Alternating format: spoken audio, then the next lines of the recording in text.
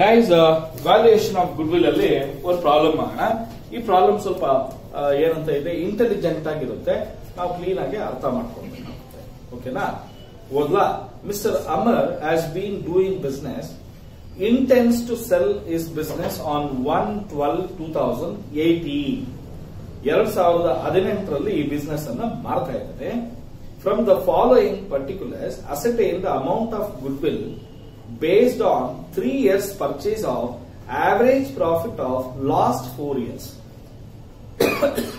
ಅಂದರೆ, ನಾಲ್ಕು ವರ್ಷದ ಪ್ರಾಫಿಟ್ ಕೊಟ್ಟಿರ್ತಾನೆ. ಆ ನಾಲ್ಕು ವರ್ಷದ ಪ್ರಾಫಿಟ್ ಅಲ್ಲಿ ಆವರೇಜ್ ಎಷ್ಟು ಬರುತ್ತೆ? ಆ ಆವರೇಜ್ ಅನ್ನ ಪ್ರಣಯ್ ನಾಲ್ಕು ವರ್ಷದ ಪ್ರಾಫಿಟ್ ಕೊಟ್ಟಿರ್ತಾರೆ. ಆ ನಾಲ್ಕು ವರ್ಷದ ಪ್ರಾಫಿಟ್ನ ಟೋಟಲ್ ಮಾಡಿದ್ರೆ ಡಿವೈಡೆಡ್ ಬೈ ಫೋರ್ ಮಾಡಿದ್ರೆ, ನಮಗೆ ಆವರೇಜ್ ಪ್ರಾಫಿಟ್ ಬರುತ್ತೆ. ಅದು ಎಷ್ಟು ಬರುತ್ತೆ, ಅದರ ಮೂರ್ ಪಟ್ಟಷ್ಟು ಗುಡ್ ವಿಲ್ ಕೊಡ್ಬೇಕು ಅಂತ ಹೇಳ್ತಾ ಇದ್ದೇನೆ. ಅಂದ್ರೆ ಮೂರು ವರ್ಷದ ಪ್ರಾಫಿಟ್ ಮುಂಚೆನೆ ಕೊಡ್ಬೇಕು ಅಂತ ಹೇಳ್ತಾ ಇದ್ದೇನೆ. ಅರ್ಥ ಆಯ್ತಾ ಈಗ? ಯಾವಾಗ್ಲೂ ಅಷ್ಟೇ three years purchase two years purchase five years purchase ಅಂದ್ರೆ five times three times four times ಅಂತ ಅರ್ಥ. ಅದ ಅಷ್ಟು ಪಟ್ಟು ಅಂತ ಹೇಳಿ. The profits during the four years as follows two thousand ಏನಿದು two thousand fifteen 2 lakhs 2016 2 lakh 40 2017 3 lakhs 2018 3 60000 at the time of acquisition of the business the buyer was employed as a manager of a similar business on a salary of 6000 per month. The profits of 2008 include income from investment of 20000 The profits of 2015 were reduced by 60,000 being loss on speculation. Similarly, in 2017, profits were reduced by, by 1 lakh rupees due to loss from betting. So ಇದನ್ನ ನಾವು ಮಾಡಬೇಕು ಅಂತ ಹೇಳಿದ್ದಾರೆ. ಏನ್ ಮಾಡ್ಬೇಕಂತೆ? Average profit method ಅಲ್ಲಿ ಗುಡ್ ವಿಲ್ನ ಕ್ಯಾಲ್ಕುಲೇಟ್ ಮಾಡು ಅಂತ ಹೇಳಿದ್ದಾರೆ. ಒಂದ್ ನಿಮಿಷ ಇಲ್ಲಿ ಎಲ್ಲರೂ ಕ್ಲೀನ್ ಆಗಿ ಕೇಳಿಸ್ಕೊಳ್ಬೇಕು. ಕೇಳಿಸ್ಕೊಂಡ್ರೆ ಒಳ್ಳೆ ಮಾರ್ಕ್ಸ್ ಬರುತ್ತೆ. ಕೇಳಿಸ್ಕೊಳ್ಳಿದ್ರೆ ಒಳ್ಳೆ ಮಾರ್ಕ್ಸ್ ಬರೋದಿಲ್ಲ. ಅರ್ಥ ಆಗ್ತಾ ಇದೆಯಾ ನಿಮ್ಗೆ ಈಗ ನಾನೇನ್ ಮಾಡ್ತೀನಿ ಅಂದ್ರೆ ಕ್ಯಾಲ್ಕುಲೇಷನ್ ಆಫ್ ಓಕೆನಾ average profit of last four years. How many years? Four years. 2015 ಇಂದ ತಾನೇ ಇರೋದು year two thousand fifteen sixteen seventeen eighteen ಕೊಟ್ಟಿದ್ದಾರೆ. ಕರೆಕ್ಟಾ ಪ್ರಾಫಿಟ್ ಎಷ್ಟೆಷ್ಟಿದೆ ಹೇಳಿ? ಫಿಫ್ಟೀನ್ ಅಲ್ಲಿ?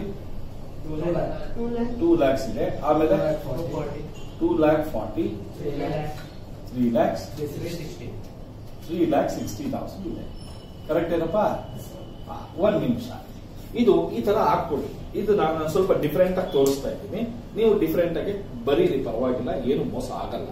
ಓಕೆನಾ ಈಗ ನಾನೇನ್ ಮಾಡಿದ್ದೀನಿ ಅಂದ್ರೆ ಅಡ್ಜಸ್ಟ್ಮೆಂಟ್ ಓದ್ತೀನಿ at the time of acquisition of the business ಅಂದ್ರೆ ಎರಡ್ ಸಾವಿರದ ಹದಿನೆಂಟರಲ್ಲಿ ಈ ಬಿಸ್ನೆಸ್ನ ಪರ್ಚೇಸ್ ಮಾಡ್ಬೇಕಾದ್ರೆ ಅವ್ನು ಒಂದ್ ಎರಡು ಪಾಯಿಂಟ್, ಒಂದ್ ಮೂರ್ ಪಾಯಿಂಟ್, ನಾಲ್ಕು ಪಾಯಿಂಟ್ ಐಡೆಂಟಿಫೈ ಮಾಡಿದ್ದಾನೆ ಏನಂತ ಅದು ಅಂತ ಹೇಳಿದ್ರೆ the buyer was employed a manager of a similar business on a salary of six thousand per month ಅಂತ ಹೇಳ್ತಾ ಇದ್ದಾನೆ ಒಂದ್ ನಿಮಿಷ ಕೇಳಿಸ್ಕೊಡಿ ಬೈಯರ್ ಅಂದ್ರೆ ಯಾರು ಪರ್ಚೇಸ್ ಮಾಡ್ತಾ ಇದ್ರಲ್ಲ ಬಿಸ್ನೆಸ್ನ ಅವನೇನ್ ಹೇಳ್ತಾ ಇದ್ದಾನೆ, ನೋಡಪ್ಪ, ನಿನ್ಗೆ ಇಷ್ಟಿಷ್ಟು ವರ್ಷ ಪ್ರಾಫಿಟ್ ಬಂದಿದೆ ಕರೆಕ್ಟಾ ಇಷ್ಟಿಷ್ಟು ಪ್ರಾಫಿಟ್ ಬಂದಿದೆ. ವೆರಿ ಗುಡ್ ಕರೆಕ್ಟ್ ಆಗಿದೆ, ಇಲ್ಲ ಅಂತ ಹೇಳ್ತಾ ಇಲ್ಲ. ಈ ಪ್ರಾಫಿಟ್ಸ್ ಅಲ್ಲಿ ನೀನೇನಾದ್ರೂ, ಯಾರಾದ್ರೂ ನಿನ್ ಬಿಸ್ನೆಸ್ನಲ್ಲಿ ಮ್ಯಾನೇಜರ್ ಇಟ್ಕೊಂಡಿದ್ದ ಅಂತ ಕೇಳ್ದ. ಇಲ್ಲ ಸ್ವಾಮಿ, ನಾನು ಯಾರನ್ನು ಮ್ಯಾನೇಜರ್ ಇಟ್ಕೊಂಡಿರ್ಲಿಲ್ಲ. ನಾನೇ ಓನರು ನಾನೇ ಡ್ಯಾಮೇಜರು ನಾನೇ ಓನರು ನಾನೇ ಕ್ಲೀನರು ನಾನೇ ಮ್ಯಾನೇಜರು ಎಲ್ಲ ನಾನೇ ಅಂತ ಹೇಳ್ದ. ಅದಕ್ಕೆ ಬೈಯರ್ ಏನ್ ಹೇಳ್ದ? ಸೆಲ್ಲರ್ ಹೇಳಿದ್ದೇನಂತ? ಇದು. ನಾನೇ ಎಲ್ಲ ಅಂತ ಹೇಳ್ದ. ನೋಡಪ್ಪ ನಾನ್ ಆಗಿದ್ದಿದ್ರೆ ಏನೋ ನಾನ್ ಆಗಿದ್ದಿದ್ರೆ ಈ ಬಿಸ್ನೆಸ್ಗೆ ನನ್ಗೆ ಅಂತ ಸ್ಯಾಲ್ರಿ ಹಾಕೊಳ್ತಾ ಇದ್ದೆ. ಅಥವಾ ನಾನು ಯಾರಾದ್ರೂ ಮ್ಯಾನೇಜರ್ ನಿಡ್ತಿದ್ದೆ. ಯಾರು ಇಡ್ತಿದ್ದೆ ಮ್ಯಾನೇಜರ್ ಇಡ್ತಿದ್ದೆ ಇಟ್ಟಿದ್ದಿದ್ರೆ ಅವನಿಗೆ ತಿಂಗಳಿಗೆ ಸಿಕ್ಸ್ ತೌಸಂಡ್ ರುಪೀಸ್ ಏನ್ ಕೊಡ್ತಾ ಇದ್ದೆ? ಸ್ಯಾಲ್ರಿ ಕೊಡ್ತಾ ಇದ್ದೆ. ಸಿಕ್ಸ್ ತೌಸಂಡ್ ಪರ್ ಆನಮ್ಮ ಪರ್ ಮಂತ್ ಪರ್ ಮಂತ್ ಹೌದಾ? ಆರ್ ಸಾವಿರ ರೂಪಾಯಿ ಸ್ಯಾಲ್ರಿ ಕೊಡ್ತಾ ಇದ್ದೆ ನಾನು. ಸ್ಯಾಲ್ರಿ ಕೊಟ್ಟಿದ್ರೆ ಪ್ರಾಫಿಟ್ ಕಡಿಮೆ ಆಗೋದಾ ಜಾಸ್ತಿ ಆಗೋದಾ? ನೀವೇ ಕಡಿಮೆ ಆಗೋದು. ಇವನೇನ್ ಮಾಡಿದ್ದಾನೆ ಸೆಲ್ಲರು ಅದನ್ನ ತೋರ್ಸೇ ಇಲ್ಲ. ಅರ್ಥ ಆಗ್ತಾ ಇದೆಯಾ? ಏನಂತ ತೋರಿಸ್ಬೇಕು ಬಿಡು, ಪ್ರಾಫಿಟ್ ಜಾಸ್ತಿ ಆಗುತ್ತೆ ಅಂತ ಹೇಳ್ಬಿಟ್ಟು. ಪ್ರಾಫಿಟ್ ಜಾಸ್ತಿ ಆದ್ರೆ ಏನಾಗುತ್ತೆ? ಗುಡ್ ವಿಲ್ ಜಾಸ್ತಿ ಬರುತ್ತೆ. ಲಾಸ್ ಯಾರಿಗೆ? ಬೈಯರ್ಗೆ. ಕರೆಕ್ಟಾ? ಸೊ ಅದಕ್ಕೆ ಈಗ ಬೈಯರ್ ಏನ್ ಮಾಡ್ತಾ ಇದ್ದಾನೆ? ಸ್ಯಾಲರಿ ಆಫ್ ಮ್ಯಾನೇಜರ್ನ ಮೈನಸ್ ಯಾರ್ದು? ಸ್ಯಾಲರಿ ಆಫ್ ಮ್ಯಾನೇಜರ್ ಸೊ ಹಾಗಾದ್ರೆ ಫೈವ್ ತೌಸಂಡ್ ಸಿಕ್ಸ್ ತೌಸಂಡ್ ಅಲ್ವಾ? ಸಿಕ್ಸ್ ತೌಸಂಡ್ ಇಂಟು ಟ್ವೆಲ್ ಮಾಡ. ಎಷ್ಟು ಬರುತ್ತಪ್ಪ?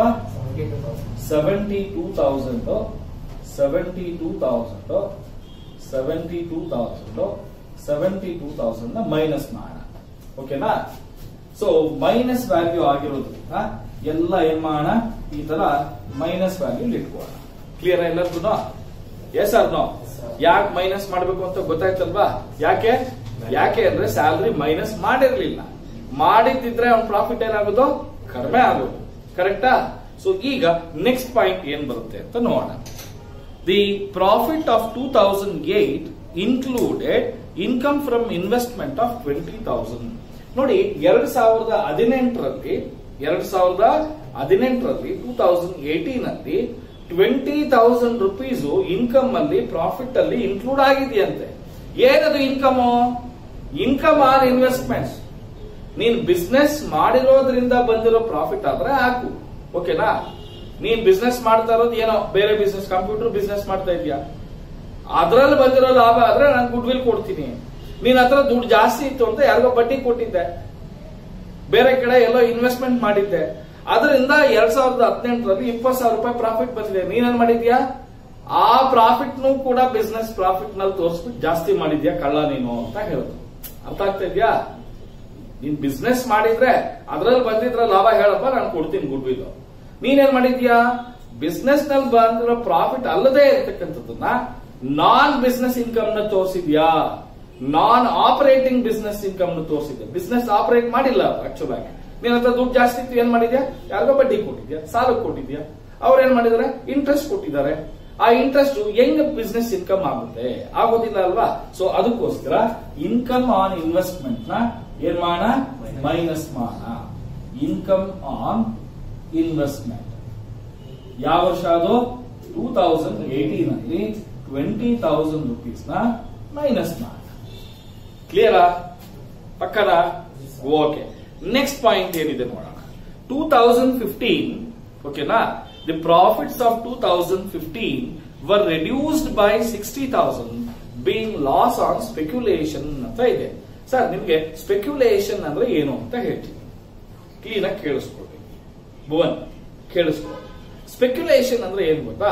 ಸಿ ಫಾರ್ ಎಕ್ಸಾಂಪಲ್ ನಾನೊಬ್ಬ ಗೋಲ್ಡ್ ಮರ್ಚೆಂಟ್ ಅಂತ ಅನ್ಕೋಣ ಓಕೆನಾ ನಾನು ಪ್ರತಿ ವರ್ಷ ಒಂದು ಹತ್ತು ಕೆಜಿ ಗೋಲ್ಡ್ ಅನ್ನ ಹೋಲ್ಸೇಲ್ ಅಲ್ಲಿ ತಗೊಂಡ್ಬಂದು ಅದನ್ನ ಜ್ಯುವೆಲರಿ ಮಾಡಿ ಮಾರ್ತಾ ಇದ್ದೆ. ಯಾರು ಇವನು ಸುಮ್ಮನೆ ಇರ್ತಾನೆ ಇವನು ಅವನ ಹೆಸರೇನು?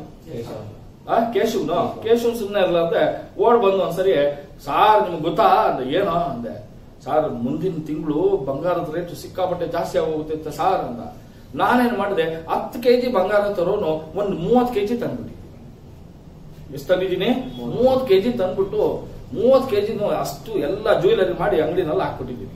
ನೆಕ್ಸ್ಟ್ ಮಂತ್ ಕಾಯ್ತಾ ಇದ್ದೆ, ಜಾಸ್ತಿ ಆಗುತ್ತೆ ಅಂತ. ನನ್ನ ಮಗನ ನೋಡಿದ್ರೆ ಜಾಸ್ತಿ ಆಗೋ ಬದಲು ಕಡಿಮೆ ಆಗೋಯ್ತು. ಅರ್ಥ ಆಗ್ತಿದ್ಯಾ? ಜಾಸ್ತಿ ಆಗೋ ಬದಲು ಏನಾಯ್ತು? ಕಡಿಮೆ ಆಗೋಯ್ತು. ನನಗೇನಾಯ್ತು? ಲಾಸ್ ಆಯ್ತು. ಅದು ನನ್ನ ರೆಗ್ಯುಲರ್ ಬಿಸ್ನೆಸ್ ಲಾಸ್ ಅದು. ಅಲ್ಲ, ನಾನು ರೆಗ್ಯುಲರ್ ಆಗಿ ಎಷ್ಟಪ್ಪ ಬಿಸ್ನೆಸ್ ಮಾಡೋದು? ಒಂದು ಟೆನ್ ಕೆಜಿಸ್ ಗೋಲ್ಡ್ನ ವ್ಯಾಪಾರ ಮಾಡೋದು. ಇವನ್ ಮಾತು ಕೇಳ್ಕೊಂಡು ನಾನೇನ್ ಮಾಡಿದ್ದೀನಿ? ಇನ್ನ ಟ್ವೆಂಟಿ ಕೆಜಿಸ್ ಜಾಸ್ತಿ ಮಾಡಿದ್ದೀನಿ. ಪ್ರಾಫಿಟ್ ಜಾಸ್ತಿ ಹಾಕೋಬಹುದು ಅಂತ ಹೇಳಿ ಕರೆಕ್ಟಾ ಸೊ ಅದನ್ನೇ ನಾವು ಸ್ಪೆಕ್ಯುಲೇಷನ್ ಲಾಸ್ ಅಂತ ಹೇಳ್ತೀವಿ. ಅದು ಬಿಸ್ನೆಸ್ ಲಾಸ್ ಅಲ್ಲ. ನೀನ್ ಮಾಡ್ಕೊಂಡಿರ್ತಕ್ಕಂಥ ಕರ್ಮ ಅದು. ಅಂದ್ರೆ ನಾನ್ ಮಾಡ್ಕೊಂಡಿರ್ತಕ್ಕಂಥದ್ದು ತಪ್ಪು. ಯಾರೋ ಮಾತು ಕೇಳ್ಬಿಟ್ಟು ಏನ್ ಮಾಡಿದೆ? ಸ್ಟಾಕ್ ಮಾಡ್ಕೊಂಡ್ಬಿಟ್ಟೆ. ಸ್ಟಾಕ್ ಮಾಡ್ಕೊಂಡಿದ್ದಾಗ ಏನಾಯ್ತು? ಕಡಿಮೆ ಆಗೋಯ್ತು. ಅಲ್ಲ ಹೌದಾ ಇಲ್ಲ? ಆವಾಗ ನಾನೇನ್ ಮಾಡಿದ್ದೆ? ಟೂ ತೌಸಂಡ್ ಫಿಫ್ಟೀನ್ ಅಲ್ಲಿ ಟೂ ತೌಸಂಡ್ ಫಿಫ್ಟೀನ್ ಅಲ್ಲಿ ಸಿಕ್ಸ್ಟಿ ತೌಸಂಡ್ ರುಪೀಸ್ ಅಷ್ಟು ಲಾಸ್ ಅಂತ ಪ್ರಾಫಿಟ್ ಅಲ್ಲಿ ಏನ್ ಮಾಡ್ಬಿಟ್ಟಿದ್ದೆ? ಮೈನಸ್ ಮಾಡಿದ್ದೆ. ಏನ್ ಮಾಡಿದ್ದೆ? ಮೈನಸ್ ಮಾಡಿದ್ದೆ. ಆದ್ರೆ ನನ್ ಬಿಸ್ನೆಸ್ ಲಾಸ್ ಅದು ಅಲ್ಲ. ಅದಕ್ಕೆ ಈಗ ಏನ್ ಮಾಡ್ಬೇಕು ನಾನು? ಆಡ್ ಮಾಡ್ಬೇಕು. ಯಾಕೆ ಅಂತ ಹೇಳಿದ್ರೆ it's not my business loss ಅರ್ಥ ಆಗ್ತಿದ್ಯಾ? ಸೊ ಇಲ್ಲಿ ನಾನೇನ್ ಮಾಡ್ತೀನಿ? ಸ್ಪೆಕ್ಯುಲೇಷನ್ ಲಾಸ್ ಅಂತ ಕರಿತೀನಿ. ಯಾವ ಇಯರ್ ಅಲ್ಲಿ ಟೂ ತೌಸಂಡ್ ಫಿಫ್ಟೀನ್ ಅಲ್ಲಿ. ಸಿಕ್ಸ್ಟಿ ತೌಸಂಡ್ ರುಪೀಸ್ನ ಪ್ಲಸ್ ಮಾಡೋಣ ಓಕೆನಾ ಇಲ್ಲಿಲ್ಲ ಇಲ್ಲೂ ಇಲ್ಲ ಇಲ್ಲೂ ಇಲ್ಲ ಓಕೆನಾ ಬರೀ ಟೂ ತೌಸಂಡ್ ಫಿಫ್ಟೀನ್ ಅಲ್ಲಿ ಮಾತ್ರ. ನೆಕ್ಸ್ಟ್ ಇಯರ್ ಏನಿದೆ ಅಂತ ನೋಡೋಣ. Similarly two thousand seventeen profits were reduced by one lakh rupee due from betting ಒಂದ್ ಲಕ್ಷ ರೂಪಾಯಿ ಟೂ ತೌಸಂಡ್ ಸೆವೆಂಟೀನ್ ನಾನೇನ್ ಮಾಡಿದ್ದೀನಿ? ಒಂದ್ ಲಕ್ಷ ರೂಪಾಯಿ ನಾನು ಜೂಜ್ ಆಡ್ಬಿಟ್ಟಿದ್ದೀನಿ ಅಂದರ್ ಬಹಾರ್ ಆಡ್ಬಿಟ್ಟಿದ್ದೀನಿ ಗೋವಾಗ್ ತಗೊಂಡೋಗಿ ಕೆಸಿನಲ್ಲಿ ಆಡ್ಬಿಟ್ಟು ಲಾಸ್ ಆಗೋಗ್ಬಿಟ್ಟಿದೆ ಒಂದ್ ಲಕ್ಷ. ನಾನೇನ್ ಮಾಡಿದೆ? ಟೂ ತೌಸಂಡ್ ಸೆವೆಂಟೀನ್ ಅಲ್ಲಿ ನಾನು ಬಿಸ್ನೆಸ್ ಪ್ರಾಫಿಟ್ ಅಲ್ಲಿ ಒಂದ್ ಲಕ್ಷ ಲಾಸ್ ಅಂತ ತೋರಿಸ್ಬಿಟ್ಟಿದ್ದೆ. ಎಲ್ಲಿ ಏನಂತ ತೋರಿಸಿದ್ದೆ? ಲಾಸ್ ಅಂತ ತೋರಿಸಿದ್ದೆ. ಆಗ ಇವಾಗ ನನಗೆ ಜ್ಞಾಪಕ ಬಂತು ಅಯ್ಯೋ ಗುರು ಟೂ ತೌಸಂಡ್ ಸೆವೆಂಟೀನ್ ಅಲ್ಲಿ ಒಂದ್ ಲಕ್ಷ ರೂಪಾಯಿ ಲಾಸ್ ಅಂತ ತೋರಿಸ್ಬಿಟ್ಟಿದ್ದೀನಿ ಅದು ಲಾಸ್ ನಂದು ಪರ್ಸನಲ್ ಲಾಸ್ ಬಿಸ್ನೆಸ್ ಲಾಸ್ ಅಲ್ಲ. ನಾನು ಬಿಸ್ನೆಸ್ನಲ್ಲಿ ತೋರಿಸ್ಬಿಟ್ಟಿದ್ದೆ ಅದನ್ನ, ಅದಕ್ಕೆ ಈಗ ನಾನು ಏನ್ ಮಾಡ್ತಾ ಇದ್ದೀನಿ? ಆಡ್ ಮಾಡ್ತೀನಿ. ಲಾಸ್ ಫ್ರಮ್ ಬೆಟ್ಟಿಂಗ್ ಕರೆಕ್ಟಾ ಎಲ್ಲಿ? ಟೂ ತೌಸಂಡ್ ಸೆವೆಂಟೀನ್ ಅಲ್ಲಿ ಇದು ಕೂಡ ಏನ್ ಮಾಡಬೇಕು? ಆಡ್ ಮಾಡಬೇಕು. ಓಕೆನಾ ಮಾಣ ಈಗ ಇಷ್ಟು ಅಲ್ವಾ? ಇಷ್ಟ ಅಲ್ವಾ ಇರೋದು? ಇಷ್ಟಿದೆ. ಈಗ ನಾನೇನ್ ಮಾಡ್ತೀನಿ ಅಂದ್ರೆ ಈ two lakh plus sixty thousand two lakh sixty thousand ಆಯ್ತು. ಟೂ ಲ್ಯಾಕ್ ಸಿಕ್ಸ್ಟಿ ನಲ್ಲಿ ಸೆವೆಂಟಿ ಟೂ ತೌಸಂಡ್ ಮೈನಸ್ ಮಾಡಿ. ಎಷ್ಟು ಬರುತ್ತೋ ಹೇಳಿ. ಒನ್ ಲ್ಯಾಕ್ ಏಟಿ ಏಟ್ ಬರ್ತಾ ಇದೆ. ಕರೆಕ್ಟಾ ಇದನ್ನ ಅಡ್ಜಸ್ಟೆಡ್ ಪ್ರಾಫಿಟ್ ಅಂತ ಕರಿತೀನಿ ಏನಂತ ಕರಿತೀನಿ? ಲ್ಯಾಕ್ ಫಾರ್ಟಿ ನಲ್ಲಿ seventy two thousand minus one lakh sixty eight thousand ಆಯ್ತು. Three lakh plus one lakh four lakh four lakh ಅಲ್ಲಿ ಸೆವೆಂಟಿ ಟೂ ತೌಸಂಡ್ ಹೋದ್ರೆ three lakh twenty eight thousand ಬರುತ್ತೆ. ಇಲ್ಲಿ three lakh sixty minus ninety two thousand ಯಾಕೆಂದ್ರೆ seventy two ಇದು minus ಇದು minus three lakh sixty ನಲ್ಲಿ ninety two thousand minus ಮಾಡಿ. ಎಷ್ಟು ಬರುತ್ತೆ? Two lakh sixty eight thousand ಈಗ ನೀವು ಅಡ್ಜಸ್ಟೆಡ್ ಪ್ರಾಫಿಟ್ ನೋಡಿದ್ರೆ ಅದು ಇನ್ಕ್ರೀಸಿಂಗ್ ಅಲ್ಲಿ ಇದೆಯಾ ಅಥವಾ ಫ್ಲಕ್ಚುಯೇಟ್ ಆಗ್ತಾ ಇದೆಯಾ ಫ್ಲಕ್ಚುಯೇಟ್ ಆಗ್ತಾ ಇದೆ. ಹೌದಾ? ಒಂದು ವರ್ಷ ಜಾಸ್ತಿ ಕಡಿಮೆ ಜಾಸ್ತಿ ಕಡಿಮೆ. ಈಗ ಇದನ್ನ ಟೋಟಲ್ ಮಾಡೋಣ. ಟೋಟಲ್ ಮಾಡಿದ್ರೆ ಎಂಟು ಮೂರ್ ನಾಲ್ಕು ಮೂವತ್ತೆರಡು ಒಂಬತ್ತು ಹನ್ನೊಂದು ಹದಿನೇಳು ಇಪ್ಪತ್ತೈದು ನಾಲ್ಕು ಏಳು ಎಂಟು ಒಂಬತ್ತು. ಎಷ್ಟು ಬರ್ತಾ ಇದೆಯಪ್ಪ ನೈನ್ ಫಿಫ್ಟಿ ಟೂ ಕರೆಕ್ಟಾ ಈಗ ನಾನೇನ್ ಮಾಡ್ತೀನಿ? ಕ್ಯಾಲ್ಕುಲೇಷನ್ ಆಫ್ ಓಕೆನಾ? ಅಡ್ಜಸ್ಟೆಡ್ ಆವರೇಜ್ ಪ್ರಾಫಿಟ್ ಏನಿದು? Adjusted average profit nine lakh fifty two thousand divided by how many years four years ಎಷ್ಟು ಬರುತ್ತೆ? Two lakh thirty eight thousand ಬರ್ತಾ ಇದೆ ಈಗ ಲಾಸ್ಟ್ ಸ್ಟೆಪ್ನಲ್ಲಿ ಕ್ಯಾಲ್ಕುಲೇಷನ್ ಆಫ್ ಗುಡ್ ವಿಲ್ ಓಕೆನಾ ಗುಡ್ ವಿಲ್ ಹೆಂಗ್ ಮಾಡ್ತೀವಿ? ಅಡ್ಜಸ್ಟೆಡ್ ಆವರೇಜ್ ಪ್ರಾಫಿಟ್ ಓಕೆನಾ into number of years of purchase ಓಕೆನಾ ಈಗ adjusted average profit is two lakh thirty eight thousand ಎಷ್ಟು ವರ್ಷದ ಪರ್ಚೇಸ್ ಕೊಡ್ಬೇಕಂತೆ. ಮೂರು ವರ್ಷದ್ದು, ಅಂದ್ರೆ ತ್ರೀ ಟೈಮ್ಸ್ ಹೌದಾ? ಇನ್ ಮೂರ್ ಸೆವೆನ್ ಲ್ಯಾಕ್ ಫೋರ್ಟೀನ್ ತೌಸಂಡ್ ಕರೆಕ್ಟಾ ದಿಸ್ ಇಸ್ ಕಾಲ್ಡ್ ಆಸ್ ಏನಂತ ಹೇಳ್ತೀವಿ? ಗುಡ್ ವಿಲ್ ಅಂತ ಹೇಳ್ತೀವಿ. ಅರ್ಥ ಆಯ್ತಾ ಈಗ? ಎಲ್ರಿಗೂ ಅರ್ಥ ಆಯ್ತಾ? ನೋಡಿ, ಯಾವಾಗ್ಲೂ ಅಷ್ಟೇ ವೆರಿ ಸಿಂಪಲ್ ಆಗಿ ಹೇಳ್ತೀನಿ. ನೋಡಿ ಇನ್ಕಮ್ ಆನ್ ಇನ್ವೆಸ್ಟ್ಮೆಂಟ್ ಅಂತ ಇದ್ರೆ ಮೈನಸ್ ಮಾಡಿ. ಸ್ಯಾಲ್ರಿ ಮ್ಯಾನೇಜರ್ ಪ್ರೊಪ್ರೈಟರ್ ಸ್ಯಾಲ್ರಿ ಅಂದ್ರೆ ಮೈನಸ್ ಮಾಡಿ. ಸ್ಪೆಕ್ಯುಲೇಷನ್ ಲಾಸ್ ಅಂತ ಇದ್ರೆ ಬೆಟ್ಟಿಂಗ್ ಲಾಸ್ ಅಂತ ಇದ್ರೆ ಆಡ್ ಮಾಡಿ. ಅರ್ಥ ಆಗ್ತಾ ಇದೆಯಾ? ಅರ್ಥ ಆಯ್ತಾ? ಬರ್ಕೊಳ್ಳಿ